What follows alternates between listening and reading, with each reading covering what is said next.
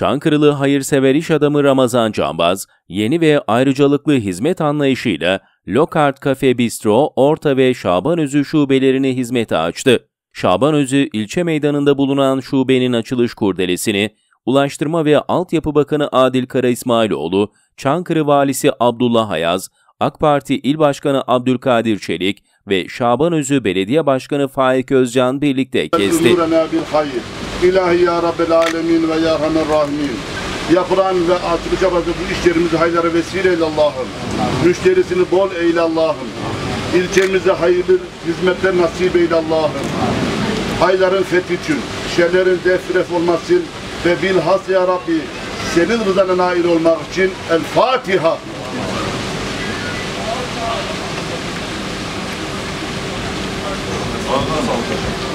Allah kabul eylesin. Hayırlı olsun.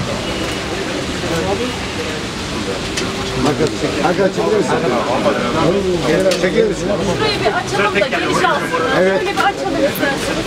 Açalım. Şöyle bir açalım. Ya Allah bismillah. Değerli arkadaşlar, değerli Şaban Özürler, çok güzel bir müessesenin açılışıyla birlikteyiz. Bugün Dodurga'dan geliyoruz. Biliyorsunuz Orta Şaban yolumuzun sözünü verdik artık yakın zamanda başlayacağız. Şaban Çubuk yolunda imalatlarına başlamıştık biliyorsunuz. Bu güzel kardeşimizin ortadaki şubesine de uğramıştık. Burada çok güzel bir müessese açmış. İnşallah Şaban Özeliler için iyi güzel bir sosyal bir alan olur burası. Hayırlı, bol bereketli kazançlar diliyorum. Ya Allah, Bismillah, hayırlı uğurlu olsun.